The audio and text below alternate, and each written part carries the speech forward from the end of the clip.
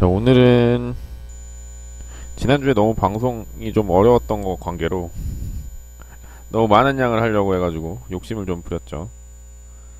그래서 이번에는 좀 간단한 종이컵 홀더를 한번 만들어 보겠습니다. 음, 이렇게 생긴 모양이고요. 어, 모양은 매우 간단해서 금방 끝날 것 같아요. 그래서 달, 빨리 끝나면 좀 다른 형태의 종이컵 홀더를 또, 또 만들어 볼 거고요. 그리고 제가 준비한 컵 사이즈가 이제 우리 일반적으로 그 자주 쓰는 작은 종이컵하고요. 그리고 요 큰 거는 뭐 스타벅스나 뭐 이런 컵 들 있죠? 큰 사이즈 종이컵. 네. 그 사이즈를 저희가 한번 음, 만들어 보겠습니다. 중간 사이즈 정도 되겠네요. 요거보다 더 큰 사이즈들이 이제 커피숍에서 주로 쓰는 거고 얘는 작은 사이즈 고 커피숍에서 그리고 얘는 우리가 사무실에서 주로 쓰는 아주 작은 사이즈 컵입니다. 자, 그래서 일단 요 모양 한번 만들어 보겠습니다.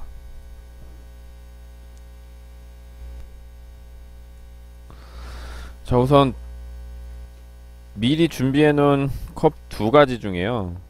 음, 한 가지를 감춰 놓도록 하겠습니다.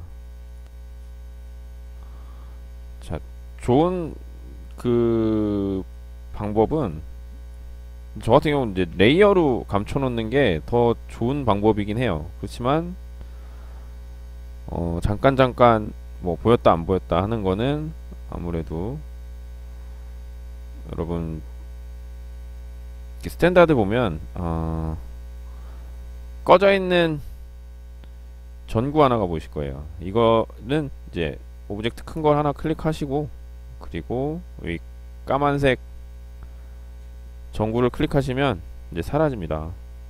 그러면 이제 사라진 걸 다시 나타나게 하는 방법은 이걸 꾹 눌러 보시면 꾹 눌러 보면 이렇게 이제 전구 모양이 다양한 게 나와요. 이렇게 보, 보시면 뭐 어렵지 않게 이해하실 수 있을 것 같은데 예, 켜져 있는 건 이렇게 켜지는 거고요.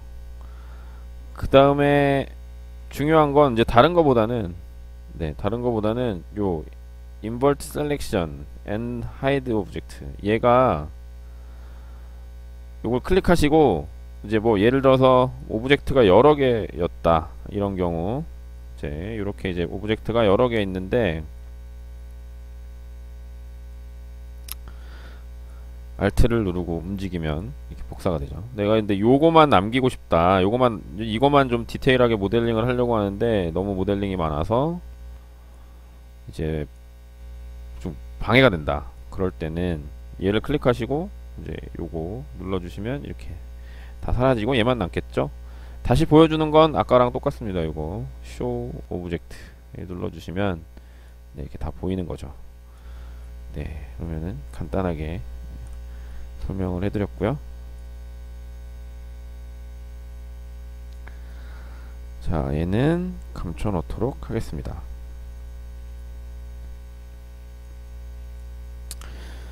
자, 너무 빨리 만들어 버릴까봐 사실 걱정이긴 한데, 모양이 매우 간단해서요. 자, 여기 모양. 우선, 우선, 기본 베이스는 제가 미리 만들어 놨어요. 음, 미리 만들어 놨고, 컵을, 이제 종이컵을 재서 만들었는데, 약간 뭐 조금씩 차이는 있을 수 있지만 거의 이제 비슷하다고 보시면 예, 될 것 같습니다. 그래서 커피 잔에 컵 홀더를 예, 만들 건데 우선 이제 어떤 방법으로 만들지 미리 이제 좀 고민을 해봐야겠지만 어 간단하게 지금 딱 떠오르는 건 딱 떠오르는 건 여기 revolve 메뉴 revolve가 보이는데요. revolve revolve가 안 보이시는 분들은 네 여기나 어디 여기 여기 네 위에 요거를 보시면 된, 되는데요. 여기 있죠? revolve. 그 거의 대부분 이 두 가지에서 매우 필요한 그 surface 만드는 기능들이 여기 모여 있다고 보시면 돼요. 여기는 이제 surface와 그 라인 뭐 라인을 만들어 그 surface에 이제 뭐 면을 따라가면서 라인을 만든다거나 뭐 그런 형태들 예, 만들어주는 그런 거고 면과 뭐 면을 잇는 라인을 만든다거나 뭐 이런 거 그리고 여기 이제 서페이스를 직접 만드는데 어떤 라인을 가지고 서페이스를 만드는 예, 다양한 명령들이 있는 거죠. 그래서 저는 이제 필요에 따라서 이걸 이렇게 복사를 해 놓습니다. 복사하는 방법 역시 Shift를 누르시고 예, Shift를 누르시고 Shift를 누르시고 드래그 하셔서 여기다가 딱 옮겨 놓으면 되겠죠? 네. 아, 네. 그렇습니다. 그리고 자 그럼 리볼버로 어떻게 만들 것이냐 이제 리볼버로 어떻게 만들 것이냐 그게 중요하죠. 그래서 먼저 자 보시면 얘가 요 요게 지금 이 컵의 이 라인 이 라인을 따라가는 예, 라인이 지금 필요해요. 그래서 어떻게 할 거냐면 자 우선 snap을 켜 주시고요. snap을 열어 주시고 그 다음에 저처럼 그 object snap들을 쭉 켜주시고 센터를 체크하지 않는 게 좋더라고요. 평상시에 사용할 때는 센터가 필요할 때만 켰다 껐다 하시는 게 나을 것 같고요. 그리고 이제 쭉 보시면 나머지 vertex 이런 거 체크 안 하시면 될 것 같고. 그리고 지난번에도 설명을 많이 했지만 요 퍼, 퍼, 프로젝트 요거는 평면 작업. 이런 평면 front나 top view 그 다음에 bottom 그 다음에 뭐 right 뭐 사이드 뭐 이런 view, view들에서는 네 project를 켜주시고 작업하시는 게 맞겠죠. 네. 자 여기서 제가 여기를 클릭하고요. 그 다음에 여기를 클릭하고요. 그 다음에 라인이 계속 연결되기 때문에 오른쪽 버튼을 눌러주시면 네 라인이 끝납니다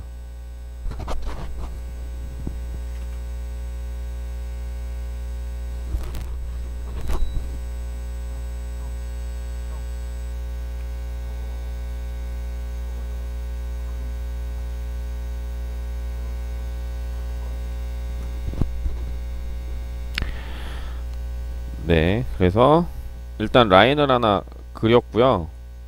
자, 이 라인은 이제 보조선이 될 거예요. 보조선. 그래서 여기 있는 스케일 뭐 여기 요것도 마찬가지지만 요걸 누르고 얘 방향으로 누르면 이 방향으로만 늘어나죠. 이때 shift 버튼 누르시면 얘가 쭉 늘어나요. 크게. 그래서 제가 연장선 이렇게 그려놓고 얘를 보조선으로 만들게요. red, red 보조선 빨간색으로 만들겠습니다. 자 그리고요 이, 이 부분에 죄송합니다. 자 이 부분에 옆면을 하나 그려줘야겠죠. 이제 보시는 음, 바와 같이 이 부분 단면을 하나 그려주신다고 보면 될 것 같아요. 단면 자, 단면을 그리는 방법은 자 여기서 제가 만약에 일정한 간격을 띄워서 그리고 싶다. 그럴 때는 옵셋 OFF 정도 쳐주면 옵셋이 뜰 거예요. 그래서 옵셋 엔터를 눌러주시면 제가 단축키를 썼는데 단축키를 못, 찾, 못 모르시는 분들은 curve tool에 가보면 네 offset이 있습니다. 여기 어딨나? 여기 있죠? 자 어쨌든 offset 명령을 주시고 간격 띄우기 근데 이제 distance 여기 지금 0.1이라고 되어 있는 이 distance 예, 이 distance distance가 0.1이라고 되어 있는데 이때 이 여기를 클릭하신 다음에 여기다가 이제 입력을 뭐 5 하고 엔터 누르시면 5mm만큼 간격이 떨어지는 거죠. 예, 그런데 어 그냥 이 옵, 이거 distance 입력 안 하시고 그냥 뭐 4하고 엔터 쳐, 치셔도 네, distance가 바뀝니다. 네, 편의를 위해서 이렇게 만들어 놨겠죠. 자 이렇게 해서 offset하고 네, 띄웠습니다. 자 그러면 얘하고 얘가 네, 이렇게 간격이 띄워졌을 거고 자 그리고 이제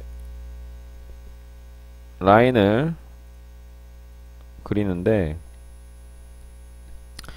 내가 만약에 치수를 좀 정확하게 작업을 하고 싶다 그러면 우선 제가 그리드를 켜서 바닥에 라인을 하나 그릴게요. 라인을 하나 그리고 자 라인을 하나 그리고요. 옵셋 역시 옵셋 하고 제가 이 바닥에서부터 얼만큼 띄우고 싶다. 이때는 제가 대략 보니까 여기서부터 쭉 올라가면 한 40 정도 띄우면 되겠어요. 40 40이면 40mm겠죠? 40하고 엔터. 그러면 이렇게 이렇게 되겠죠? 엔터 누르면 여기에 라인이 하나 이제 생기겠죠. 그리고 다시 옵셋. 이번엔 40 위로 올라가는 게 아니라 요 두께 정도 그래서 20 엔터. 이렇게 해주면 이제 이렇게 또 보조선이 만들어지겠죠? 네 보조선이 만들어집니다. 자 레드로 바꿔볼게요 제가 물론 뭐 네 그냥 바로바로 바로 작업하셔도 되는데 그냥 보기 편하시라고 레드로 됐고요. 그리고 대충 보니까 얘는 옆면이 이렇게 직선이에요. 그래서 저도 이 부분을 직선으로 이렇게 내려 보려고 해요. 그러면 라인을 클릭하시고 여기서 intersect 당연히 snap에 intersect가 켜져 있어야겠죠. 이 intersect. 이 intersect 버튼을 누르시고 자, 그, 잠깐만요. grid snap을 좀 끄겠습니다. 자 그리고 intersect 클릭하시고 밑으로 쭉 내려서 네. 여기다가 perp하고 인, intersect 같은 snap이라는 거죠? 네, 여기는. 여기는 수직이 만난다는 뜻이죠. 그래서 요렇게 요, 요렇게 요렇게. 그 다음에 요선 그 다음에 요선. 안에 있는 요선. 요거를 trim으로 잘 자르면 여기 면이 이렇게 예, 요 다각형 면이 나오겠죠. 그래서 라인을 클릭하시고요. 예, 그 트림을 안 쓰려면 그냥 제가 라인을 클려서 그냥 이 위에다가 직접 대고 그리겠습니다. 클릭, 클릭, 클릭, 클릭. 네, 어떤 걸로 하셔도 예, 상관은 없습니다만 자 이렇게 해서 요 다각형 모양을 만들었고요. 그 다음에 이 상태에서 바로 이 상태에서 바로 revolve 메뉴를 클릭하고 예, 돌려주면 지금 이 부분이 쑥 나오겠죠. 그런데 중요한 건 revolve 메뉴를 하려면 센터에 어떤 점이 필요하고요. 센터 라인이 필요해요. 그래서 센터 라인을 하나 그려주도록 하겠습니다 자 right view에서 보면 라인이 하나 여기 보이시는데 이, 이 라인은 센터 라인이 아니라 옆면 라인이에요. 그래서 다시 한번 그려줄게요. 자, 라인을 클릭하시고요. 중앙에 자 object의 중앙에 저 같은 경우는 지금 전체 이 grid 중앙에다가 정확하게 그려놨기 때문에 네 이렇게 해서 중앙에서 하시면 되고 여기 보시면 요 센터 라인 자 여기서 자 여기서. 자 이렇게 클릭하고 이렇게 클릭을 해줍니다. 그러면 여기 라인이 하나 그려졌죠? 근데 그 잠깐만요. 라인이 제대로 안 그려진 것 같아요. 지금 보시면. 네, 다시 그리도록 하겠습니다. 자 여기 밑점 여기서 클릭하시고 쉬프트를 꾹 누르신 다음에 위에서 클릭 자 그렇게 해보면 네 라인이 제대로 그려졌네요. 자 그럼 보시면 네, 중앙에 센터 라인이 보이실 겁니다. 자 그러면 아까 그려놓은 라인을 선택을 하실 건데 가셔서 클릭. 자 요거 요거 두 개 중에 하나인데 예, 이거죠. 클릭하시고 Revolve 메뉴. 네 Revolve 메뉴. 요 메뉴 클릭하신 다음에 자 여기서 클릭을 하려고 하는데 제가 지금 클릭하려고 그러는데 보면 깜빡깜빡거리면서 선이 밑에 여기 지금 Snap이 여기 생기는 거 보면 이 Smart Track이라는 이, 이 Smart Track이 Snap이 여기서 걸려요. 그러니까 이유가 이 Project가 켜져 있기 때문입니다. 그래서 얘를 풀어야 이렇게 정확하게 네 여기서부터 클릭 자 얘도 또 이 이 Near 근접 요 요 라인을 따라간다는 뜻이죠.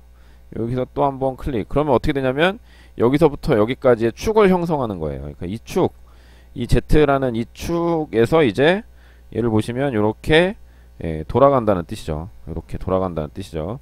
자, 돌아간다는 거를 여러 우리가 알고 있고 보면 Start Angle이 0이니까 그냥 0이니까 이 상태에서 Enter를 눌러 주시면 그냥 0이 입력된 그대로 그러면 이 명령을 지나가는 겁니다. 그리고 나서 Revol Re, Revolution Angle 그러니까 얼만큼 돌릴 거냐는 거죠. 예, 돌릴 거냐는 거죠. 얼만큼 돌릴 거냐.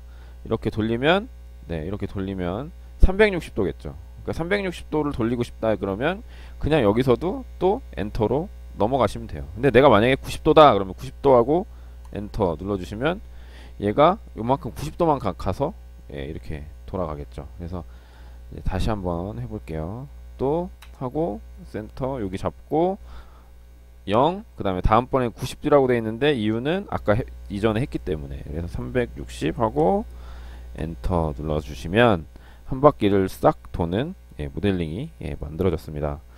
자 그러면 이제 이 모델링 하고 이 커버하고 색깔을 좀 바꿔주려고 제가 잠깐 여기 Properties 여기 가서 Display Color를 얘는 네 Blue로 한번 바꿔볼게요. 그래서 이, 이 내가 지금 모델링하는 Object만 색깔이 밝게 바꿔주시고 자 그러면 그 다음에는 지금 보시면 이 손잡이가 달려 있는데요. 이 손잡이를 한번 만들어 보도록 하겠습니다. 손잡이 뭐 손잡이 만드는 것도 역시 이렇게 어렵진 않습니다. 자 여기서 보시면 손잡이는 자 사이드에서 자 프로 프로젝트 예, 요것도 켜주시고 네 습관적으로 네 그 다음에 여기서 클릭하신 다음에 자 이쪽으로 얼만큼 내가 가려는 거 손가락이 손가락이 대부분 사람 손가락이 뭐 이제 좀 차이, 차이가 나겠지만 그래도 네, 손가락이 대략 한 15, 15mm 정도? 16mm, 15mm? 예, 남자 손가락. 예, 더큰 푸신 분들도 많겠지만, 그래서 15에서 한 20 정도 예, 된다고 보시면, 이 위쪽, 안쪽에 있는 이 손가락이 들어가는 공간이 한 20 정도 나온다고 치면, 이 위에 있는 애는 좀 더 가야겠죠. 그래서 제가 뭐 25 정도 하고 엔터 눌러 보겠습니다. 그리고 자, 25하고 엔터 눌렀더니 예, 여기 25 이제 시작점을 중심으로 25만큼 가죠. 이때 Shift 누르시고 Shift는 이제 직선 수직 이렇게 수평으로 되니까 그래서 누르시고 클릭 한번 해주시면 여기까지 내려왔죠. 그 다음에 밑으로 내려가는 길이 얼마만큼이면 될까요? 예, 여기서 한 40 정도 하고 엔터 네 했습니다.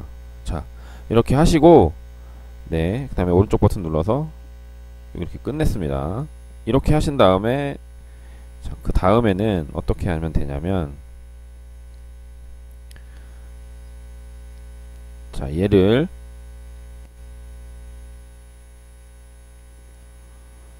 자 여기 보시면 네 여기랑 여기 두께 그 다음에 여기 두께까지도 다 같아요. 거의 같은데 이때 그러면 이렇게 하는 걸로 하겠습니다. 안쪽도 라인을 하나 더 그려주시고요. 안쪽도 라인 하나 그려주고 라인이 이렇게 겹쳐져 있죠? 요거 라인까지 합쳐서 얘를 조인 명령을 줍니다 네, 조인 명령을 주시고요. 자 이렇게 조인 명령을 준 다음에 그 다음에 옵셋. 네 옵셋. 그리고 두께. 4mm 정도 하고 엔터.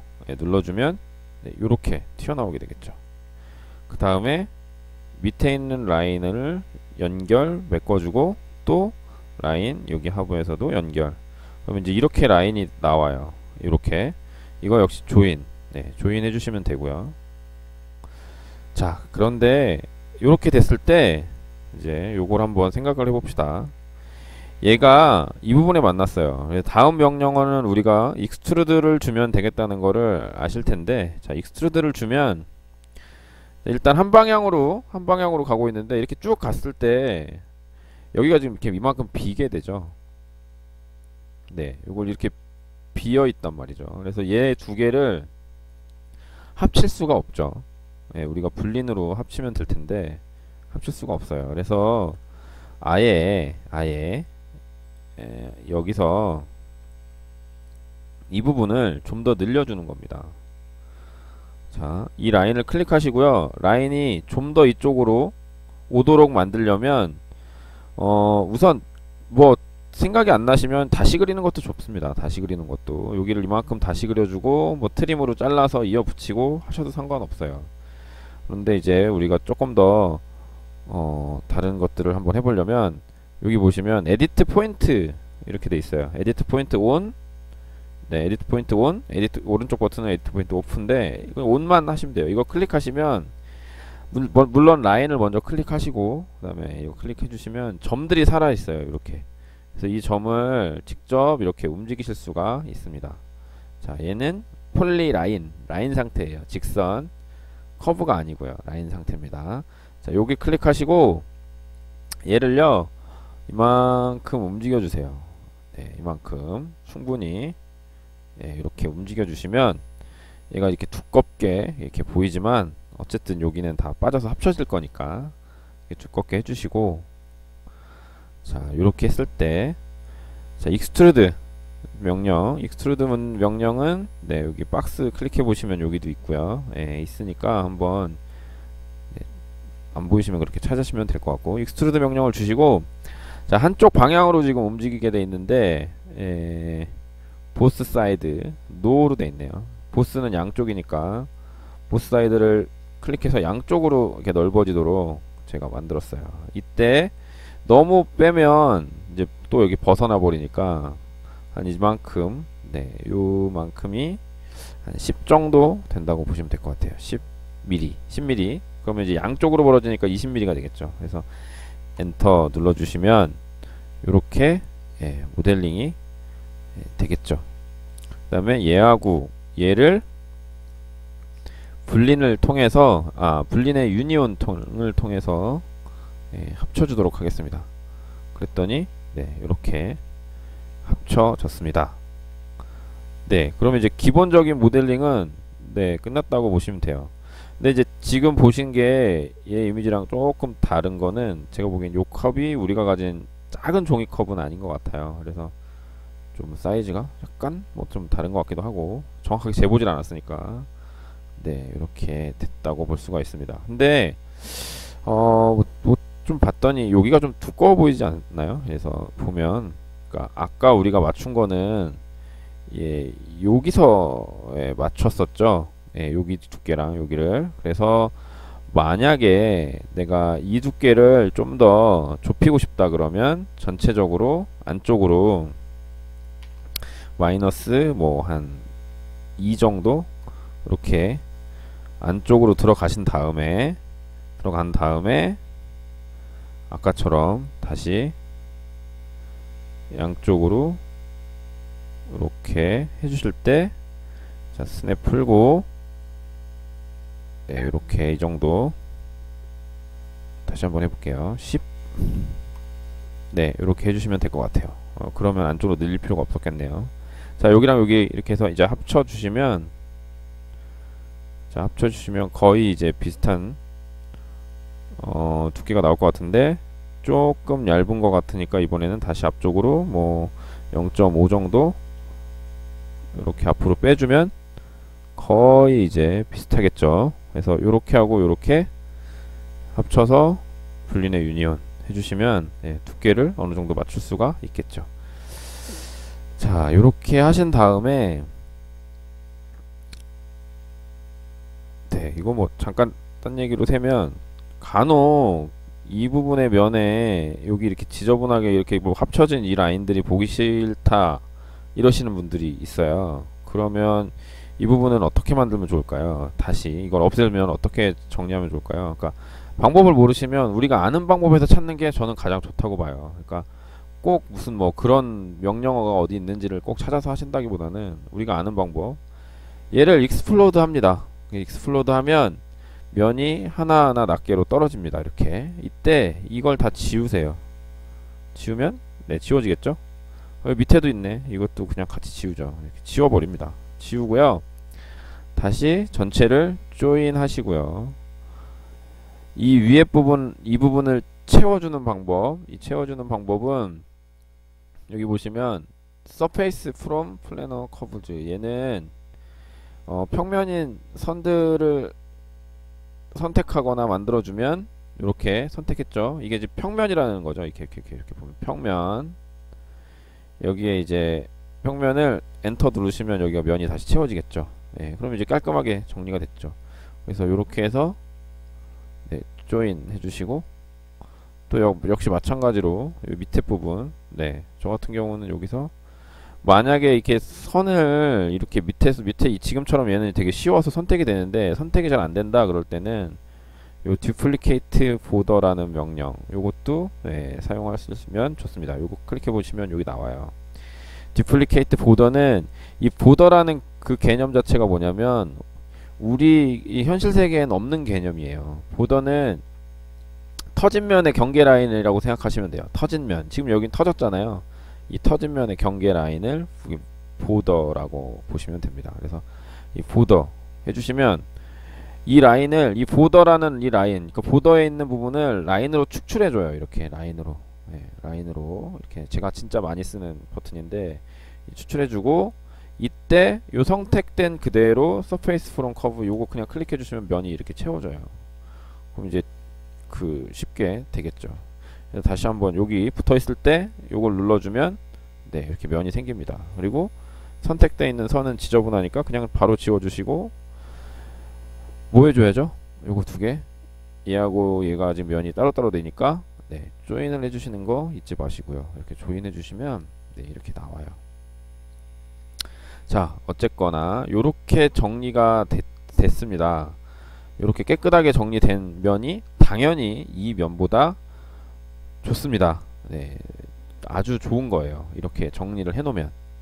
네, 이유는 이따가 뭐 혹시나 이렇게 여기다가 R 값을 준다던가 라운드 값 말씀을 이렇게 하면 부분 이런 부분들이 요런 선들이 오류를 일으킬 수 있기 때문에 이렇게 깨끗하게 정리해 주는 게 당연히 좋죠. 네, 보기 좋은 게 네, 쓰기에도 좋고 다 좋습니다. 네. 이렇게 지저분한 건 네. 네. 해서 지워 주시고요. 네, 그럼 여기까지 만들어졌고요. 이제 음, 여기 보면 이 모양들이 뭐 어떤 모양인지는 정확하게 제가 잘은 모르겠어요. 근데 톱니 모양 같기도 하고 그래서 모양들을 좀 내볼 건데 기본 컵이 모양이 나왔기 때문에 기본 컵 모양이 나왔기 때문에 거기에다가 이제 모양을 만들어 보도록 하겠습니다. 자 우선 우선 어, 느 정도 되면 하나를 복사해 놓으시는 게 좋겠죠. 네, 복사를 해 놓으시는 게 좋아요. 이렇게 복사를 해, 해, 놓으시면, 해 놓으시면 네, 나중에 다시 뭐 틀렸을 때 다시 할 수가 있으니까 자 이렇게 해주시고 자 이제는 뭐 내부 라운드가 여기 맞으니까 이 컵은 뭐 굳이 안 봐도 되겠죠. 그래서 컵도 네, 하이드 시켜주시고요. 네 여기 있는 라인들도 네 굳이 안 봐도 됩니다. 그래서 그냥 얘만 클릭하고 네, invert selection 얘를 눌러주면 이렇게 되겠죠. 자 우선 기본적으로 예, array 한번 써볼게요. array 자 array array를 쓸 건데 여기서 그리드를 켜서 저 같은 경우는 아 그리드 키지 말고 센터 라인을 그려보죠. 예, 센터 라인을 일단 이렇게 그립니다. 센터 라인 예, 중앙에 정중앙에 이렇게 그려주고 네, quad점을 잡아서 하시면 됩니다. 네, 원에서 요 센터 라인 요 센터 라인에서 원을 하나 여기다가 네, 여기서 이제 프로젝터는 꺼주시고요. 네, 진작에 껐어야 되는데 지금 껐네요. 네, 제가 왜 그러냐면 이렇게 되기 때문이죠. 네, 이렇게 되면 네, 좋지 않은 선이 안 좋지 않습니다. 그래서 얘도 다시 내려주시고요. 이렇게 네 됐고요. 여기에서 이제 원을 하나 그려줄게요. 원을 간단하게 작은 원을 네, 여기서 2 정도 2mm 그러면은 원의 지름은 4겠죠? 네, 4 반지름이 2니까 이렇게 하시고 extrude를 합니다. extrude는 충분히 높게 네, both side 네, 이렇게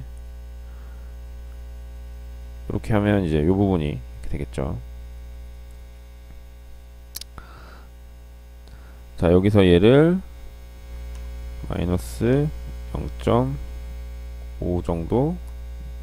아이고. 마이너스 0.5 네, 살짝만 이렇게 해주고. 얘를 어레이 할 건데요. 여기 지금 어레이 버튼 폴라 어레이가 있는데 이렇게 돌려줄 거예요. 자 돌려주는데 얘를 클릭하면 먼저 뭘 찍으라고 하냐면 센터점을 찍으라고 그래요 center of polar array 클릭하면 그 다음엔 아이템 개수 몇 개를 반복시킬래? 이렇게 물어보면 여기서 어 저 같은 경우는 아무래도 2의 배수나 4의 배수가 좋을 것 같아요. 양쪽을 똑같이 하려면. 그래서 16 하고 엔터 눌렀고요. 16하고 엔터를 누른 다음에 angle to fill 뭐 헐스도 하는데 360도라고 나오죠? 그러니까 360도를 다 채우는 거예요 16개가 360도를 16개가 채우는 거죠 그냥 엔터 그러면 이렇게 나오는 겁니다 그 다음에 또 엔터 그러면 이제 다 만들어졌습니다 이렇게 되면 자, 이 가운데 거는 의미 없으니까 빼주시고요. 자, 얘 클릭하시고 빼기는 거죠. boolean difference 빼기 얘네들을 겹쳐진 부분을 빼줘라. 네, 이렇게 해주시면 네, 우리가 네 봤, 봤던 네, 요거랑 비슷한 형태가 일단 나왔죠.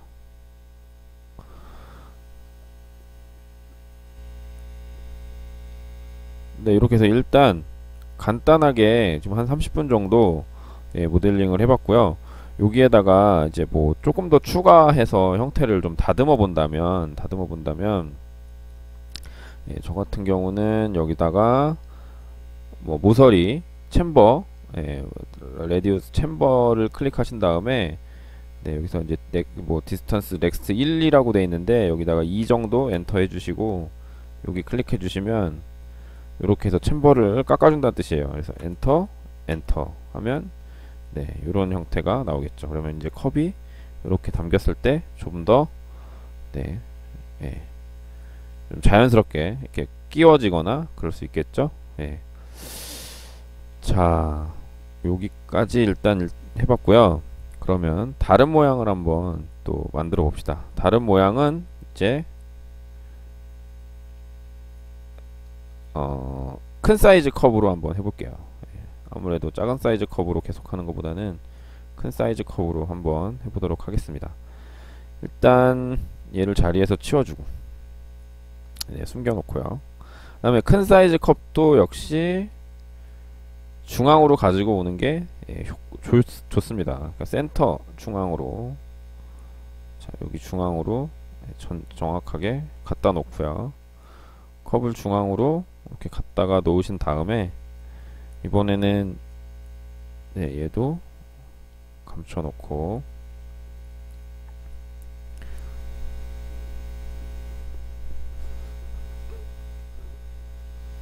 자 나머지 이제 지저분한 선들은 좀 지워주도록 하겠습니다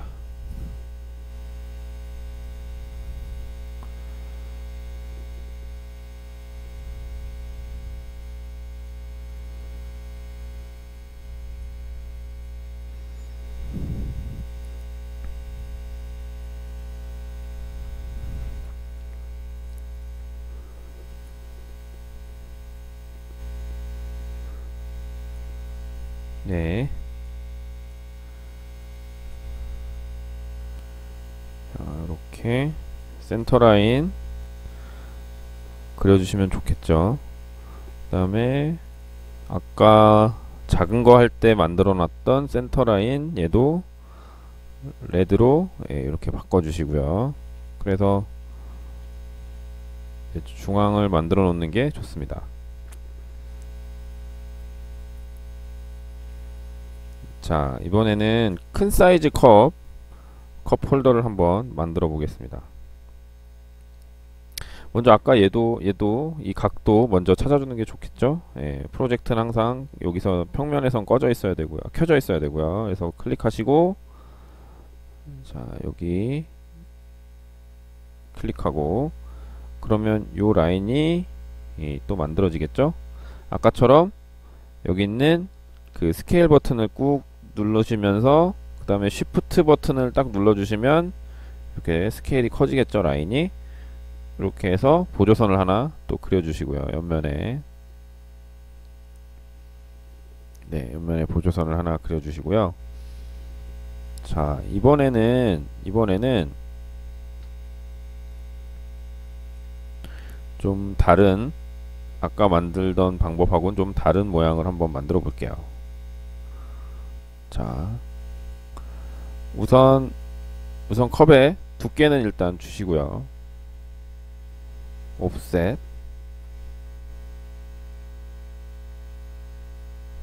두께는 3 정도로 너무 두껍지 않게 두껍게 하고 그리고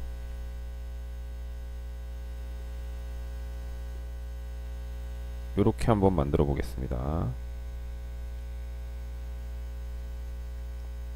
이 부분에서 컵을 아예 감싸는 형태의 홀더를 한번 만들어 볼게요. 그러니까 요게 아까처럼 네, 컵을 이렇게 그냥 쏙 빠뜨리는 형태가 아니라 네, 컵을 아예 밑부터 이렇게 받쳐서 네, 손잡이가 달려있는 형태로 이렇게 감싸는 형태로 이렇게 감싸는 형태로 한번 만들어 볼 건데요. 자, 그러려면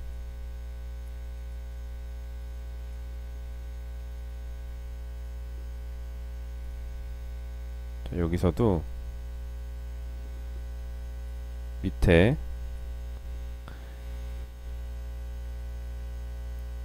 자, 곡선 커브를 한번 써보겠습니다. 자, 여기서 클릭하시고 그 다음에 여기 클릭하고요.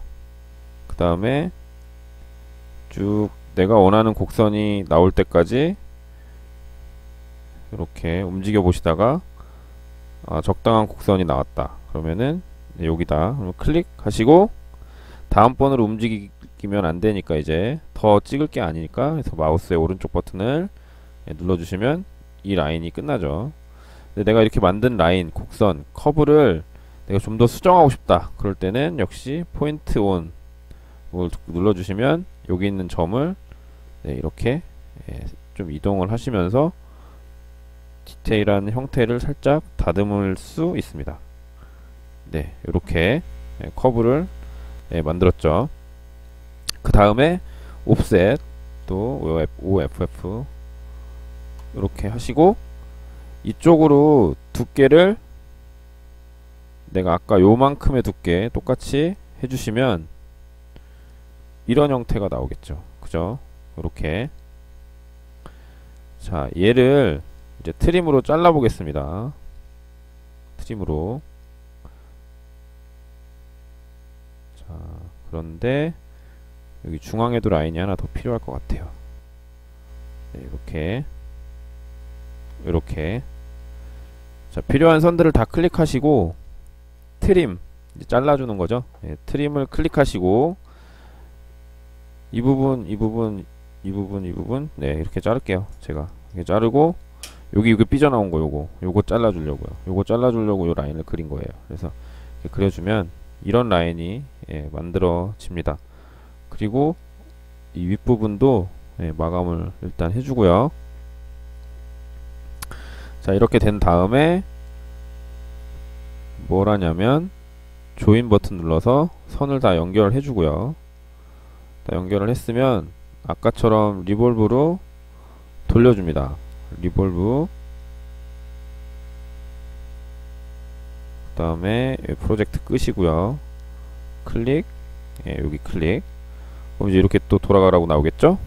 엔터 엔터 하면 360도 자 그러면 이제 그 형태가 아이고 자 그래서 Alt 버튼 누르고 쭉 움직여 주시고요.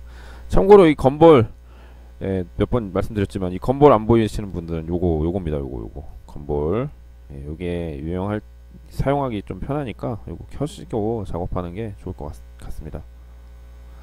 자 그리고요 이제 여기서 한번 볼게요. 지금 이제 밑에 어, 부분 보면 이렇게 형태가 나왔고 사실 이거 3D 프린터로 출력하기에는 안 좋은 형태인 것 같아요. 지금 생각해 보니까 왜냐하면 이 밑부분이 예쁘게 나올지도 그러니까 컵을 만약에 이렇게 출력을 했다면 이 밑부분이 이렇게 잘 나오지도 않을 뿐더러 이 닿는 면적이 적기 때문에 혹시나 툭 쳐가지고 베드에서 떨어져 버리면 이제 망치는 형태 전형적인 형태인 것 같은데 네 그냥 한번 해보겠습니다.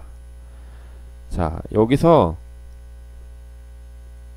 자 여기서 컵을 이렇게 잘라 주려고 해요. 이렇게. 네, 잘라 주려고 해요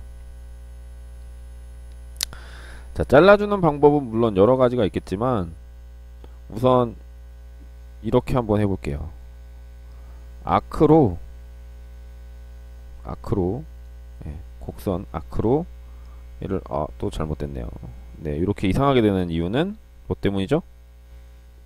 뭐 때문일까요? 아시는 분?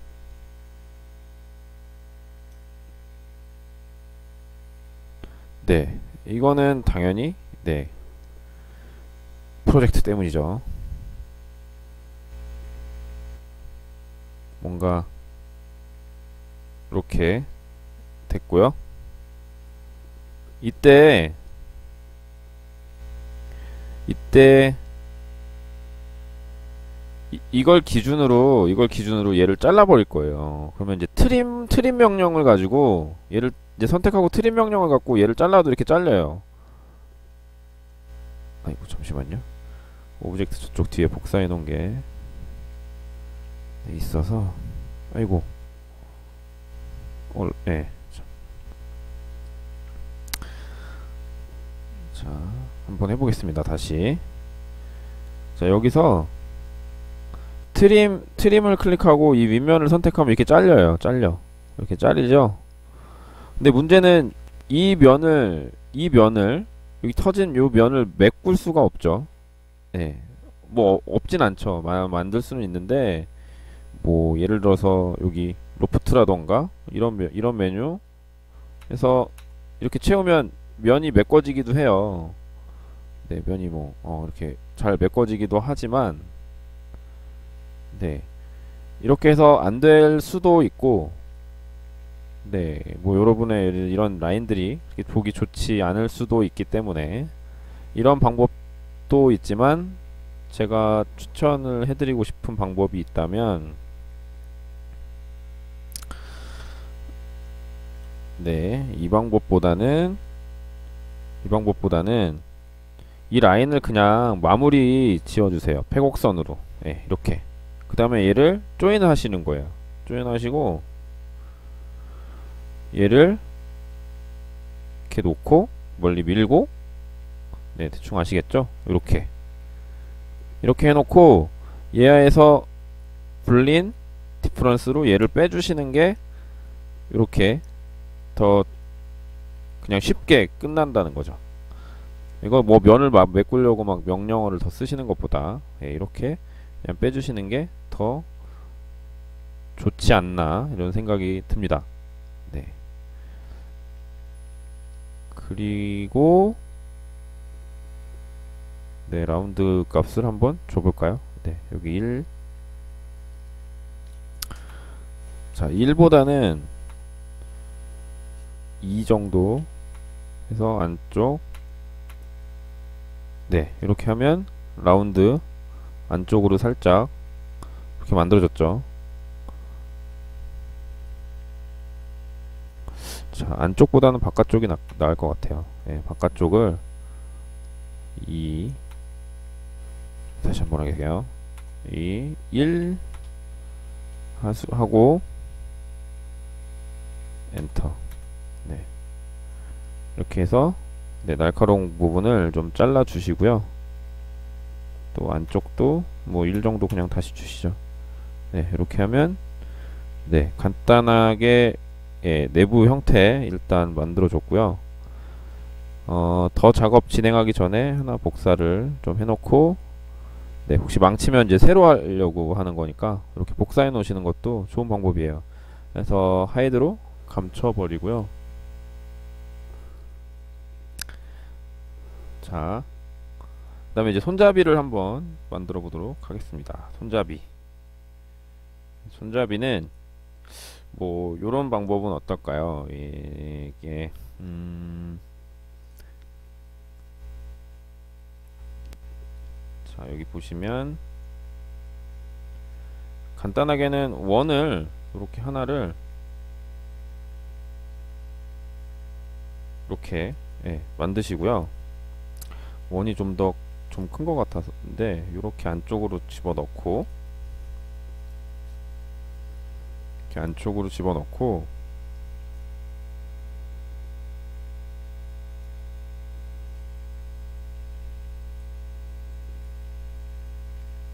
이렇게 집어넣은 다음에 두께를 주려고 파이프를 한번 써볼게요. 파이프. 자, 파이프는 클릭하시면 먼저 파이프라는 건 이제 어떤 지름 지름이 있는 어떤 둥그런 그 두께 있는 파이프를 말, 얘기하는데 관 같은 거죠. 그래서 이제 여기 맨 처음에 파이프 첫 번째가 될 radius 값 그 1이라고 하는데 지금 요거를 제가 5 정도 한번 하고 엔터를 칠게요. 그러면 5가 요거예요. 요거 요 두께. 그 다음에 또 한번 자 next 또 한번 엔터 그러면 이제 이렇게 두께가 나오겠죠 네, 두께가 이렇게 나와요 자 그대로 저는 좀 원 자체가 예쁜 것 같아서 이대로 한번 합쳐 보겠습니다. 근데 중요한 건 봅시다. 얘를 불린으로 합쳐버리면 어떻게 되나요? 여기 안쪽까지 합쳐지겠죠? 자 그러면 이거를 하는 쉬운 방법 어떤 게 있을까요? 어떻게 하면 얘를 지우면서 같이 합칠 수 있을까요?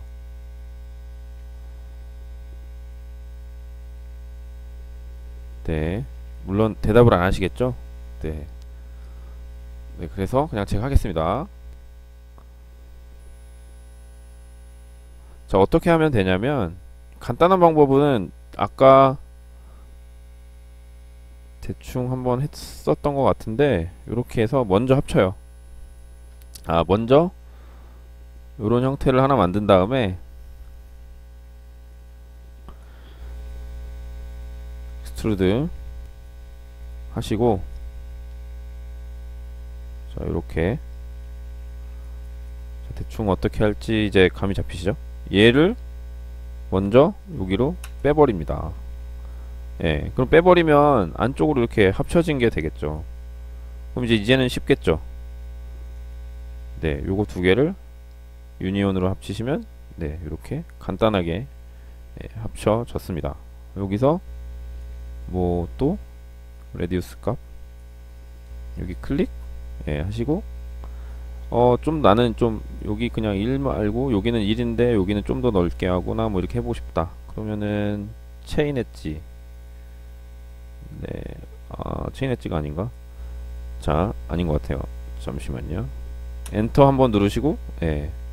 add handle이죠? 예, 핸들 하나 더 추가한다는 거죠. 요게 핸들인 거예요, 요거. 네. 네. 어차피 영어를 몰라도 우리가 경험으로 알 수 있는 거고 네, 여기다 클릭해 주시면 핸들이 하나 추가가 되죠 네, 요걸 핸들이라고 합니다 그리고 엔터를 눌러 주신 다음에 이제 핸들 어디든 핸들 명령에서 또 나왔어요. 나온 다음에 이제 요거 두 개를 이제 우리가 핸들할 수 있는데 자 여기서 늘리는 것보다 여기서 늘리는 게 좀 낫겠죠? 그래서 살짝만 이 정도로 한번 합시다. 좀 더 너무 커지면 안 될 수도 있으니까. 해서 엔터 눌러주시면 네 이렇게 되겠죠. 그래서 여기는 얇지만 여기는 좀 더 두꺼운 형태가 예, 나왔습니다. 근데 제가 왜 많이 못 늘리냐면 얘도 곡면으로 이렇게 가고 있기 때문에 혹여 너무 커지면 여기서 터져버릴 수가 있어요. 한번 더 해볼까요? 자 밑에를 한번 해보겠습니다. 이번엔 밑에 또 한번 하고 여기 있는 거 클릭하시고요. 자 얘네들이 생기는 위치들 이 굵은 라인들이 하나씩 있는데 이 굵은 라인들은 결국은 이 면이 이렇게 시작돼서 여기 돌아가서 여기 가서 만난다는 시작과 끝점을 얘기해요. 네, 거의 대부분 그렇습니다. 여기는 지금 없잖아요. 그죠? 음, 그렇게 하고 add handle 한 번 더 누르시고 add handle 자 얘를 여기다가 클릭해 주시면 그다음에 여기 클릭하시고 한 번 더 눌러 주시면 이제 얘 값이 나오겠죠. 자 이때 add handle을 한번 한 다음에 여기다 한번 더 해볼게요. quad. 그 다음에 또 여기다가도 한번 또 quad. 자 그래서 이번에는 이때 여기 이 부분. 이 부분은 1.5 네, 1.5 커지고 여기 끝에 여기도 1.5 엔터. 그 다음에 이 부분은 좀 더 크게 한번 해볼게요 어... 6 정도? 네 너무 소심한가? 좀 더 해볼까요? 8 네. 그리고 엔터. 그러면 이런 형태가 나오겠죠. 좀 더 자연스러운가요? 예. 이 위에보다 조금 더 자연스럽게 이렇게 형태가 만들어졌죠. 네. 이렇게 해서 컵 홀더를 예, 만들어 봤습니다. 네, 오늘은 좀 간단하게 컵 홀더를 해봤고요. 혹시 궁금하신 게 있으시면 질문을 받도록 하겠습니다.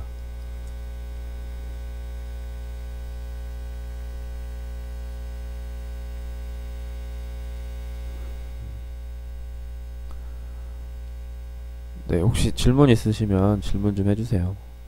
뭐, 뭐, 꼭 상관없는 질문도 괜찮고, 뭐 3D 프린트 관련된 내용도 괜찮고요.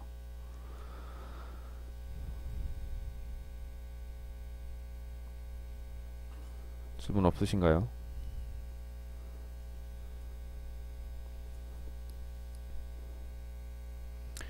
자 만약에 이제 3D 프린터로 얘를 집어넣는데 얘가 안 붙는다 3D 프린터로 바닥에 베드에 안착이 잘 안된다 네 질문 생각하시고 질문하시고요 저는 그냥 그 여러분 질문 안 하시는 것 같아서 좀 더 얘기를 할게요 근데 네, 질문 생각하신 다음에 질문 좀 해주시고 네, 만약에 3D 프린터로 얘가 잘 출력이 안 된다. 여기가 당연히 얇아서 당연히 출력이 안 될 거예요. 제재로.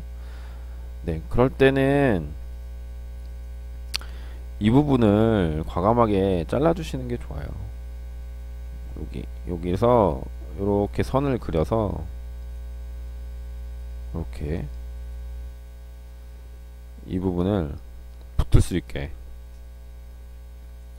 얘가 너무 얇으면 어 잠시만요. 네 요거까지만 설명해 드리고 답을 해 드릴게요. 네 이렇게 해서 네 이렇게 해서 네 얘에서 빼기 얘로 눌러주시면 여기 면이 생기죠 이렇게 면이 생기면 네 키슬라이스에 가서 예, 여기 부분이 여기 부분이 바닥에 딱 붙겠죠. 그래서 뭐 불임이나 이런 것들이 형성이 여기서 되기 때문에 더잘 나올 것 같아요. 자, 네, 바로 프린팅이 예, 가능하겠죠?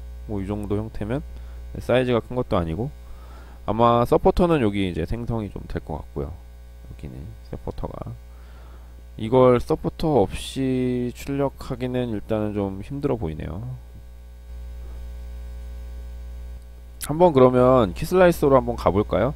생각난 김에 네, 한번 키슬라이서로 한번 가볼게요. 제가 이거 빼기 전 두 개를 한번 비교를 한번 해보면 게 좋을 것 같은데 얘에서 얘에서 풀린 얘 빼고 얘는 지금 안 돼 있는 상태로 돼 있고 그래서 얘를 한번 키슬라이서로 한번 가져가 보도록 하겠습니다. 요거 하나를 네, export export selected 해서 네, 여기서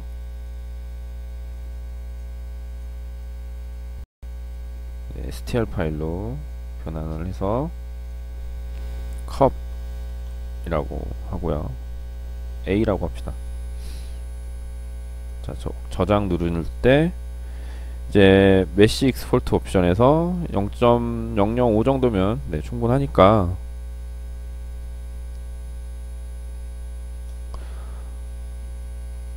네, 네, 그렇죠. 직접 support를 수작업으로 만들 수도 있어요. 예, 만들 수도 있고요. 뭐 그건 가능한데 이제 그게 어 얼마나 효과적인지는 직접 테스트를 몇 번 해보셔야 될 것 같아요. 그래서 일단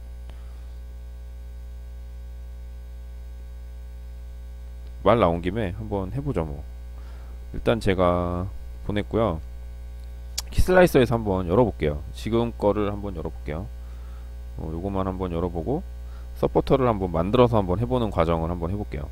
여기 지금 이제 들어왔는데 어, 제가 이건 지금 면 자른 부분 그 모델링을 이제 가지고 들어왔어요. 여기서 음, 모델하고 패스로 만들어 주시고 저는 이제 어 이거 지금 저는 0.8로즐입니다. 0.8로즐이고 예, 루프스 2, 2로 돼 있고요. 내부를 꽉 채우는 걸로 돼 있습니다. 내부를 꽉 채우는 걸로 돼 있는데 뭐 요거를 뭐 한 25% 정도로 예, 만들고요. 음 그리고 네. 그다음에 support. 네, support가 있는 걸로 해 주시고 갭을 0.8로 놨고요. 네, 이렇게 해 주고 그다음에 네. 스커트 주고요. 그다음에 brim으로 줬어요. 그리고 뭐 이제 material이랑 프린트 쪽은 여러분이 테스트를 해봐야 되는 거기 때문에 이제 서포터하고 스타일만 제가 보고 작업을 한번 해보도록 하겠습니다. 슬라이스 경로가 어떻게 나오는지 네 이거 한번 잘라보겠습니다. Rhino에서 직접 support를 만든다면 이게 슬라이스가 CPU를 써서 그런지 저걸 하면 느려지더라고요. 자 여기서 컴퓨터가 버벅대기 시작했습니다. 뭐 만약에 Rhino에서 Rhino에서 서포터를 직접 만든다면 제 생각인데 그거는 모델링을 이렇게 하신다는 것 같아요. 그러니까 뭐 Rhino에서 서포터를 모양을 만들어주는 기능은 없습니다. 그러니까 뭐 그러니까 3D 프린터를 위해서 서포터를 직접 뭐 이렇게 이렇게 포인트를 찍어주면 만들어진다거나 뭐 그런 거는 제가 지금까지 없는 걸로 알고 있어요. 그러니까 예, 그건 제가 모르는 부분이고요. 근데 대신에 만약에 서포터를 직접 만들어줘야 된다 그러면 제일 지금 불안한 부분은 사실 이 윗부분보다는 이 윗부분보다는 여기겠죠 여기 사실 이 부분만 잘만 만들어준다 그러면 여기서 여기부터 여기까지만 잘 만들어준다고 하면 사실 이 윗부분이 예, 만들어질 수가 있을 것 같아요 그래서 제가 보기에는 이 부분을 뭐 요렇게 만들어 보면 어떨까? 한번 제가 한번 만들어 볼게요. 요렇게 해서 자 서포터를 한번. 네, 지금 네, 바닥이 일치하지가 않아서 먼저 바닥 먼저 일치하도록 네, 바꿔 보겠습니다. 그리드 일단 끄고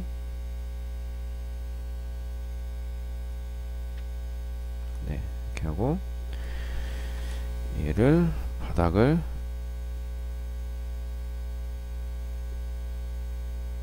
네 일치시키고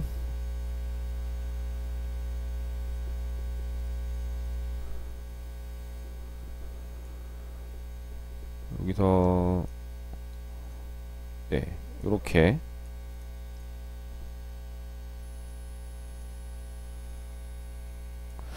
네 이렇게 support를 대충 이제 이렇게 제가 한번 만들어 볼게요 물론 이게 이제 뭐 얼마나 효과적인가는 계속 테스트를 해봐야 되고 서포터를 좀 더 다양한 모양으로 만들어 봐야지 될 것 같아요. 네, 좀 더. 네.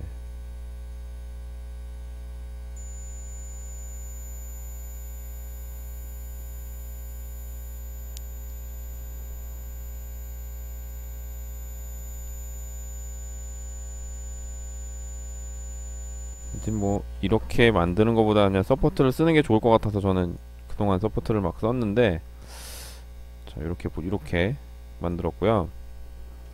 아, 얘가 서포터는 얘가 그냥 바로 서포터가 되는 건 아니고요. 자 봅시다. 여기서 자 조금 어려울 수 있는데 어렵다기보다는 이제 안 쓰, 잘 안 쓰는 기능들을 쓸 건데요. 네 굳이 요거까지 막 외우실 필요는 없을 것 같고 우선 아까 원을 다시 한번 그려볼게요. 음,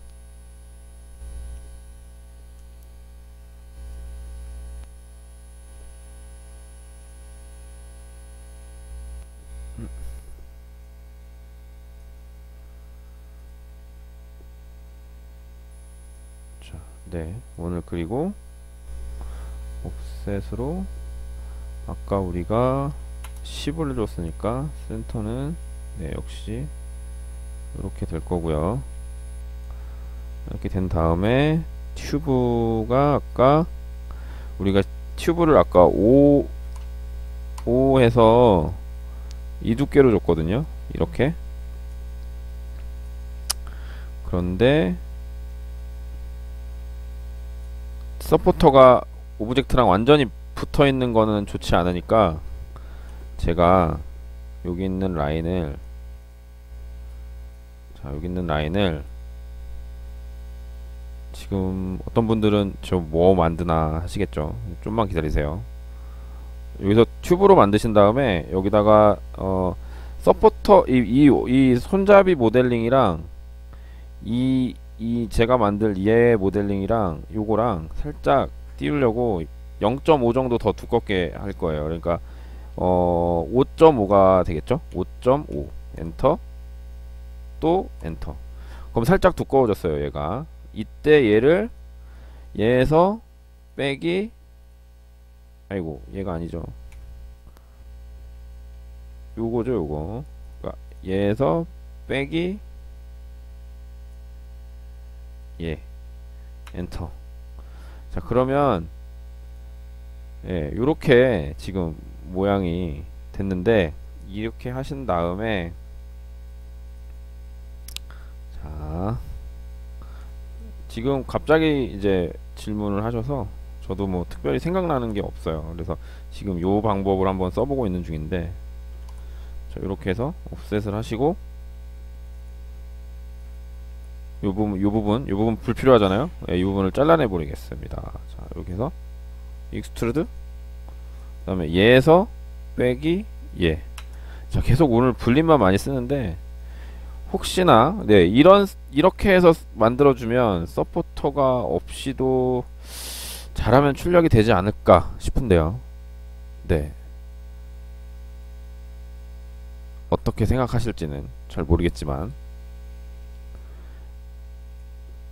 혹시 이 이렇게 서포터를 만들면 문제가 있다 라고 생각하시는 분 있으세요? 네, 물론 이제 많이 걸릴 것 같고 좀 시간은 더. 근데 아마 이제 이런 방법으로 해서 만들면 요 간격을 잘 만약에 해주시면 뭐 나오지 않을까 싶은데. 자 일단 아까 그러니까 이렇게 되겠죠? 네, 원래대로 한다면 서포터가 그리고 얘도 네, 이렇게. 이렇게. 맨 밑바닥에 라인을 한 두 번 정도 갖고 거기 밑 뒤로 이제 브림을 쭉 형성을 했는데 네, 이렇게 해서 쭉 올라가고 네, 여기는 이제 서포터가 생기고 쭉 올라가면서 이제 여기 있는 서포터 요걸 만드는데 사실 잘하면 이제 무너지지 않을까. 요 서포터 요 요 하나만 가면. 그래서 저 같은 경우는 이렇게 약한 support가 여기 생기면 그 요거를 줘요. 얘가 덮개를 만들어 주거든요. 서포터의 덮개를. 다시 한번 slice를 해보겠습니다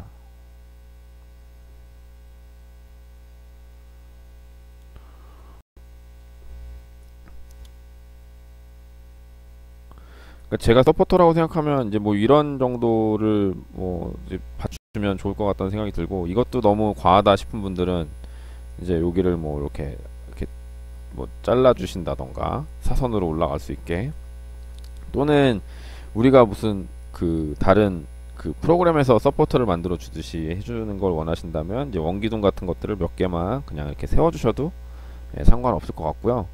그냥 저는 만약에 간단하게 만들려고 하면 이렇게 만들 것 같긴 해요.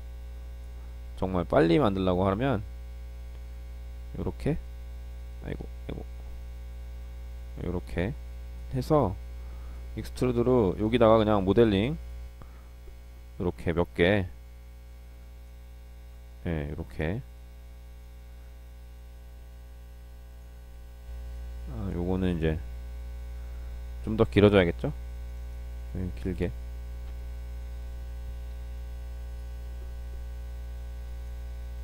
그러니까 그 슬라이스를 정말 잘하시는 분들은 어느 정도 이 정도만 서포터가 있어도 제 생각에는 출력이 어느 정도 되지 않을까. 그러니까 얘, 얘 이렇게 해놓고 아까 제가 했던 방법대로 어, 요건가요? 어디 갔지? 선들이 네 이렇게 했던 방법대로 해서 튜브 주고 0.5 이 정도 할게요. 이번에 좀 더. 어? 나왔나?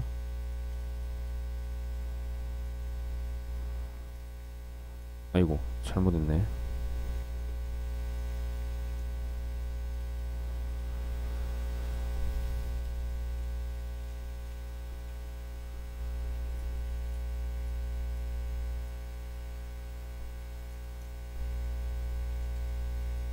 네, 이렇게. 네, 요거에서 다시 한번.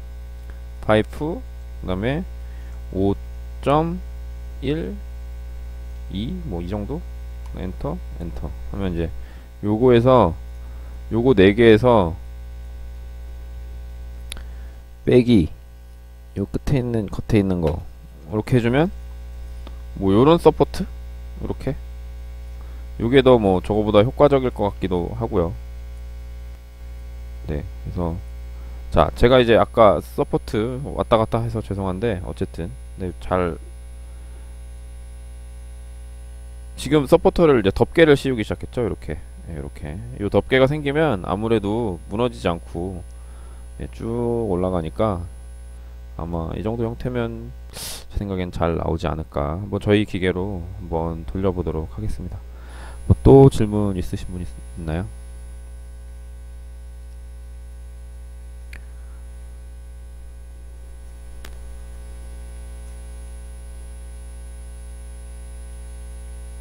아 여기 이사님이 가능 기능 기둥 두 줄로 세우면 안 될까요? 이렇게 써주셨군요. 예, 제가 못 봤습니다. 지금 제가 그래서 이사님 생각보다 좀 더 굵은 기둥 4개를 박았습니다. 지금 방에 채팅 채팅 그 저희 지금 방송 방에 네, 제가 다니는 그 강의 나가고 있는 학생들이 몇몇명 들어와 있는데요. 네, 반갑습니다. 네, 뭐 또 다른 기 다른 뭐 질문 같은 거 있으세요? 지난번에 모델링 했던 것 중에 뭐 궁금하셨던 것들이나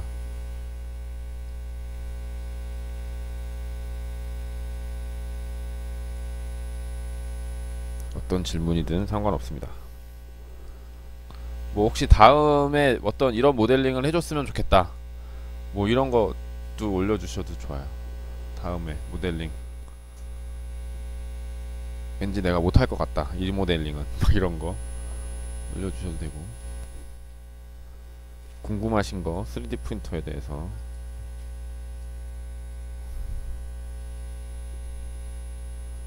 네, 이사님 또 의지 강하신 이사님 또 두 개면 될 것 같은데 네, 쓸데없이 많이 했다고. 이거 이거 주면 될까요? 이거? 요거 요거 이거 둘 중에 어떤 거 주지?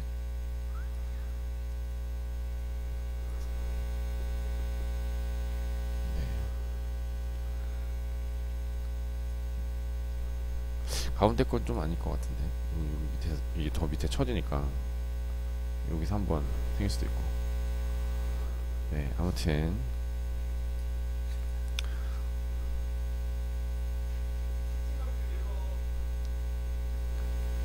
고무요? 고무?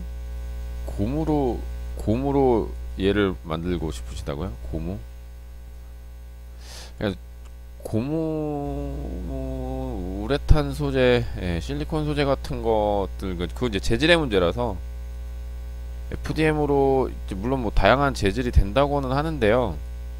제가 어, 아직까지는 저희 기계로 우레탄을 테스트, 그러니까 우레탄 약간 탄성 있는 재료인데요. 그것도 고무 완벽하게 고무처럼 뭐 그런 게지는 않고요. 그냥 좀 뭐라 그래야 될까 좀 아주 딱딱한 고무 같은 이제 그런 네, 탄성이 있, 있어요. 그래서 네 내일 오시면 제가 한번 보여드릴게요. 알려드릴게요. 근데 지금까지 제가 다른 재료를 아직 많이 테스트 해 보진 않았어요. 저도 근데 이제 다른 재료를 써보니까 또 그 뭐 노하우가 많이 필요한 것 같고요.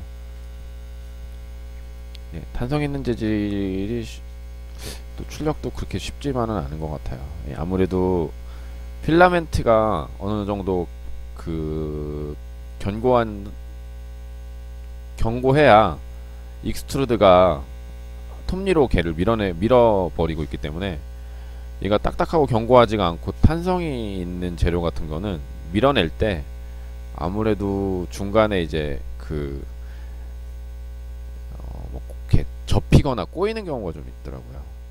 예, extruder 부분에서. 그래서 이제 그런 어떤 실패들이 좀 가끔 나와요.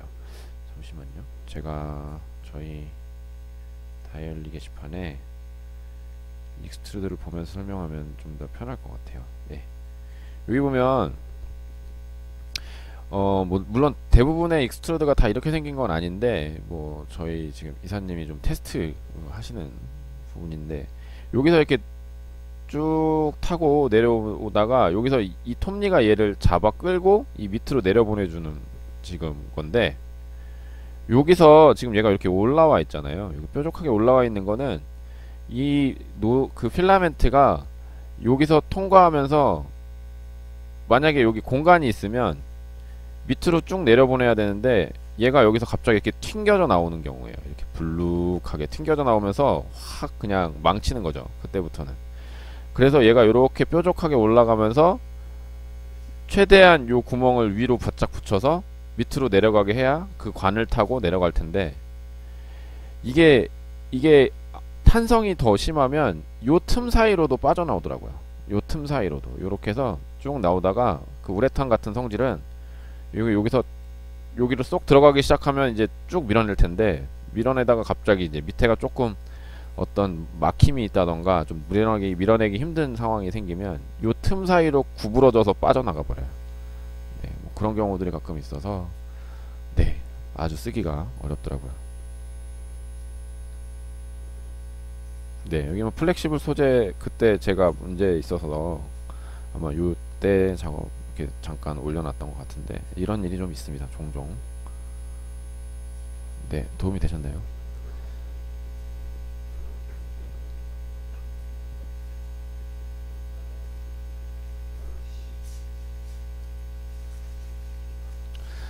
어, 뭐 그 만들고 싶으신 형태 같은 거 있으면 저희 카페 통해서 올려주세요.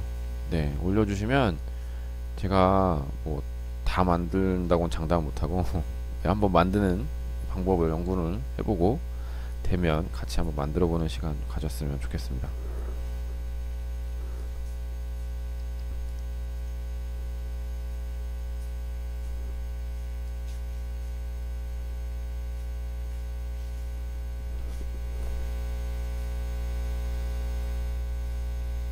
궁금하신 거 있으시면 또 질문해 주시고요. 아, 한번 잘라놓은 거 한번 볼까요? 어떻게 됐는지. 음.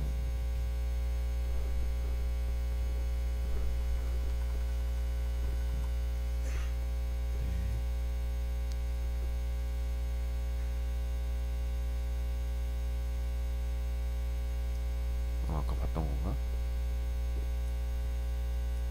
한번 아 우리 그러면 지금 만들었던 서포트가 있는 얘를 한번 집어넣어 볼게요. 어떻게 나오는지.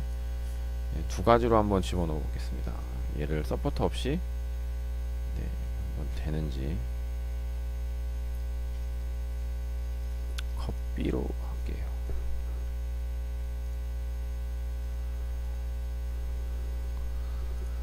여기를 서포터를 안 만든 건 이제 어쨌든 붙어서 얘가 쭉 올라가면서 이 정도 두께면 이렇게 해서 좀 조금 이 부분 이 부분이 좀 지저분하게 나오긴 하겠지만 어떻게든 나올 것 같긴 해요 이렇게. 이렇게. 그래서 이 부분이 사실 좀 지저분해질 것 같긴 해요. 근데 이 부분이 서포터가 없이도 나오지 않을까. 왜냐면 여기도 이렇게 이어지고 계속. 이제 얘 같은 경우는 이게 이렇게 밑으로 쳐져 있기 때문에 완전히 허당이잖아요. 그러니까 얘는 중간에 이 몸체랑 이어져서 이렇게 나오는 것도 없이 여기서 한 바퀴 돌 테니까 이런 게 꼭 있어야겠죠. 자, X 누르고 한번 열어보겠습니다. copy를 네.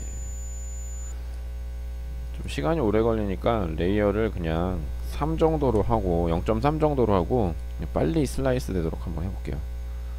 아이고 서포터를 있는 상태로 했는데 한번 보겠습니다. 어떻게 나오는지.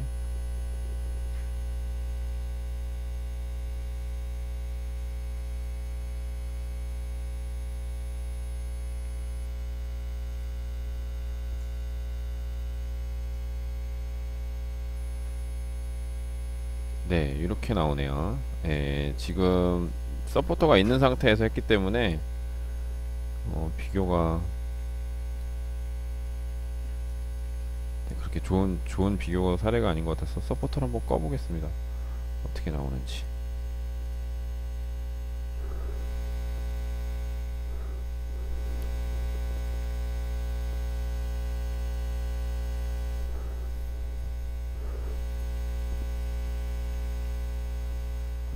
혹시 다른 분들 막 졸고 계신 건 아니죠?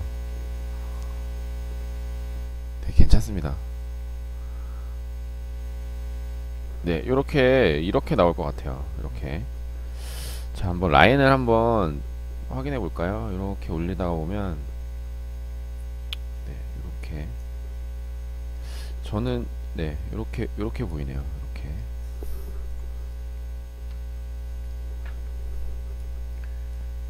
이렇게 한번 볼까요? 네, 이렇게. 네, 제 생각인데 이 정도면 네, 충분히 어떻게든 완전히 무너지거나 완전히 실패하지 않고 여기를 생성을 할 수 있을 것 같아요. 이렇게. 음, 네. 시간이 많이 줄었네요. 서포터가 없으니까 시간이 아 그리고 layer도 네 layer도 좀 두껍게 했으니까 시간이 많이 줄었네요.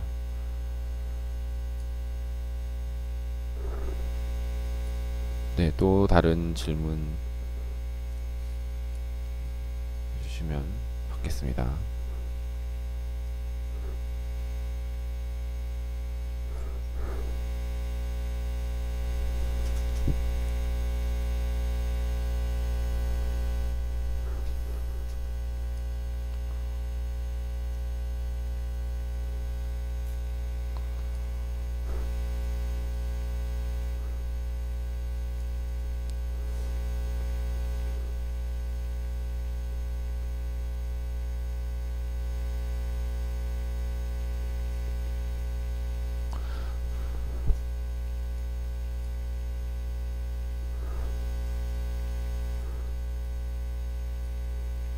없으신 것 같은데 그러면 방송을 네, 오늘은 이만 끝내도록 하겠습니다. 혹시 혹시 생 그 뭔가 질문이 있으셨는데 이렇게 공개적으로 하기 좀 그렇다. 뭐 그러신 분들은 카페를 통해서 예, 질문해 주셔도 좋고요. 저희가 이제 그 방송이 처음이다 보니까 뭐 좀 실수도 많고 예, 좀 잘 안 되는 경우도 좀 있고 그래요. 저도 뭐 뭐 이 뭐 모델링의 무슨 신이라던가 뭐 그런 건 아니기 때문에 모르는 것도 아직 좀 많고요. 그래서 어, 방송 중간 중간에 이제 조금 잘 하려고 노력은 하는데 예, 조금씩 실수들이 있을 것 같아요. 근데 뭐 좋게 봐주시고 그리고 네, 뭐 질문 같은 거 생기시면 언제든지 네, 저희가 성의껏 답변을 해드릴 테니까 네, 뭐 부담 갖지 마시고 질문해 주시고요. 그냥 가끔 이거를 뭐 저 저희가 뭐 하는 이 모델링 방송을 통해서 뭐 빨리 뭔가를 막 배우시려고 막 애쓰시는 그런 것도 좋지만 제 생각에는 그냥 편하게 이 방송을 뭐 한 두 달, 세 달 이렇게 그냥 쭉 들어주시면 저와 같이 모델링하는 방법이라던가 뭐 이런 것들을 그냥 저와 같이 그냥 시간 틈틈이 날 때 그냥 들어주시는 게 더 좋지 않나 싶어요. 그러니까 뭐든 쉽게 빨리 끝나진 않아요. 제가 보- 해보니까 어느 정도 계속 그 이거에 관심을 갖고 지속적으로 시간을 이렇게 투자하시는 게 좋을 것 같은데 그럴 때 무슨 뭐 책 보면서 막 집중도 있게 무슨 이렇게 막 하는 것보다는 그냥 이렇게 제가 방송할 때 실시간으로 방송할 때 그냥 같이 이렇게 보시다가 궁금한 거 생기면 바로 바로 질문도 하고 예, 뭐 창피하시거나 뭐 그럴 필요 전혀 없거든요. 어차피 뭐뭐 모르는 거 뭐 뭐라고 하는 뭐 그런 것도 아니고 뭐 여기 뭐 전문가들만 모인 것도 아니기 때문에 그냥 바로 바로 질문해 주시고 그렇게 그냥 편안하게 들어주셨으면 좋겠습니다. 네. 오늘은 여기까지 그럼 하도록 하겠습니다. 예, 좋은 시간 네, 되시길 바라고요. 네. 네, 다음에 뵙겠습니다. 네, 사운드님 감사합니다. 그래도 오늘 제일 뻘쭘하지 않게 질문도 많이 해주시고 네, 이사님 감사합니다. 네, 펩시맨님 감사합니다. 네, 좋은 밤 되시고요. 네, 감사합니다.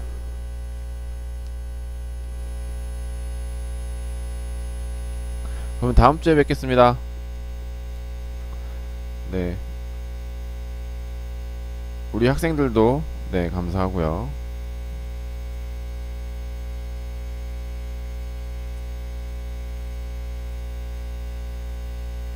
네. 네, 좋은 밤 되세요.